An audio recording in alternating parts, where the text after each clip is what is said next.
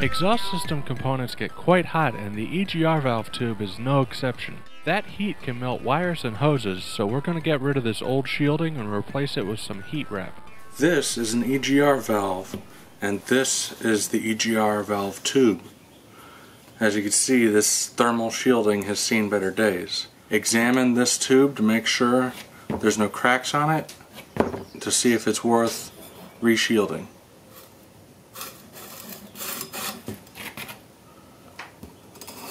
That looks good. Mainly you want to check these ribbed areas for cracks. Wiggle it around a bit. Alright, it looks good. Now we're going to put on this thermal shielding. This is normally meant for larger diameter tubing.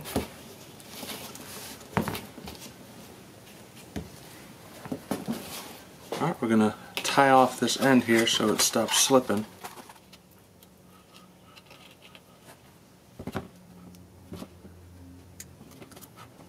We'll cut off the rest later if we need to. One of the important things is to make sure this is tight. The tighter you get it, the better it seals.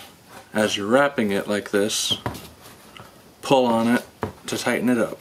Now you don't want to go too too far because you will need to get a wrench on this to tighten it down.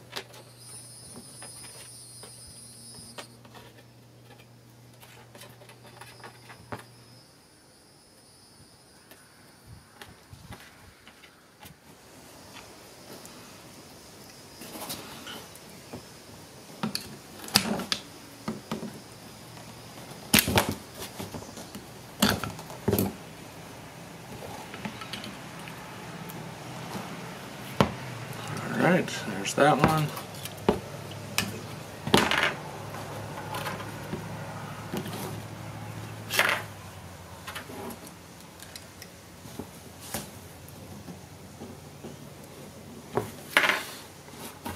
there's that one.